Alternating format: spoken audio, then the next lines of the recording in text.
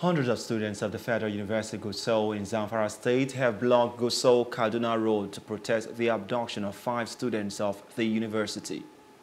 Five students of the institution were abducted by bandits last Friday night, a situation which has angered the students to block the road, as a result of which several motorists were left stranded for several hours.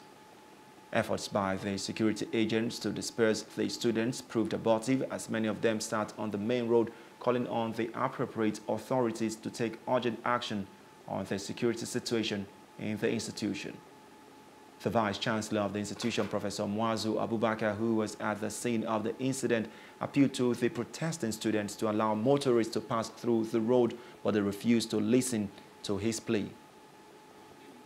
But some students were kidnapped in Tabongira yesterday, midnight.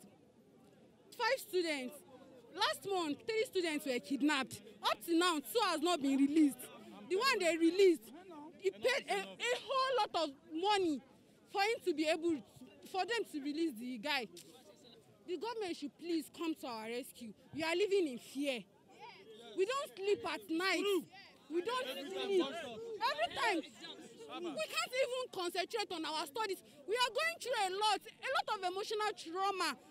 These people are tormenting us our life doesn't matter to school. In fact, our life don't matter to the to the government as entirely. This is not the first, not the second, not the third time that they are kidnapping us. Our students have been kidnapped and the school does nothing about it. In fact, our students living close by in the school, their life is not safe, the life doesn't matter to school. The students are here now saying their mind. Hello, hope you enjoyed the news. Please do subscribe to our YouTube channel and don't forget to hit the notification button so you get notified about fresh news updates.